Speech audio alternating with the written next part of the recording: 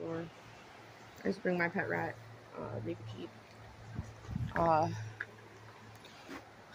uh, to school.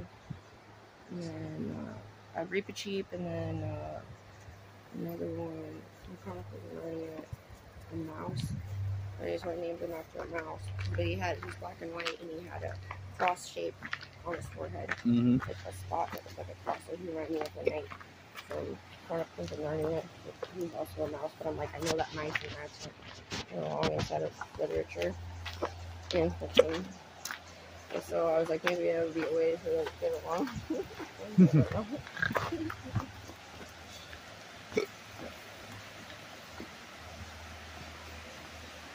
So we're by uh, us. We went to, on the bus to Spokane Falls Community College to go hiking. And whoa,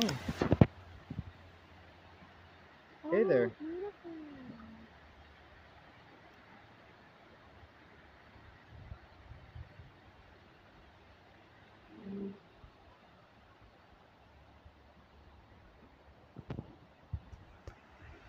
there's a deer.